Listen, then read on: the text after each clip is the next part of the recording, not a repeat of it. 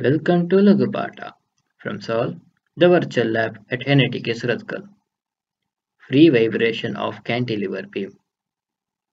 Aim of this experiment is to find the damping C of the given single degree of freedom cantilever beam.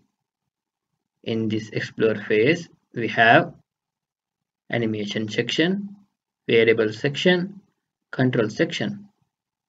In animation section, we have a cantilever beam with I cross section and equivalent spring mass damper system is shown. Below, we can see equivalent mass of the system M, stiffness of the system K, damping of the system C, natural frequency omega n, damping natural frequency omega d. In variable section, we can change the material and cross section using the drop down dialog boxes. You can also change the length, damping ratio and end mass. Once changes are done, observe the changes. Next, in control section, you can stop or play the animations by clicking on stop or play button. Click on graph button to see the plots of displacement versus time and amplitude versus frequency of the system.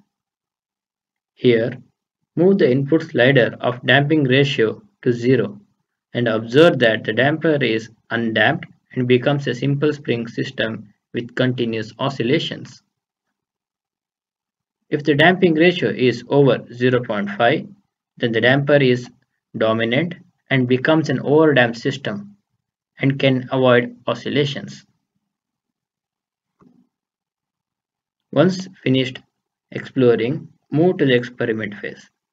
Here, start the experiment by clicking on Start Experiment. Calculate your stiffness K for the given input values in the variable section and enter. Check the answer. Calculate equivalent mass and enter. Check the answer.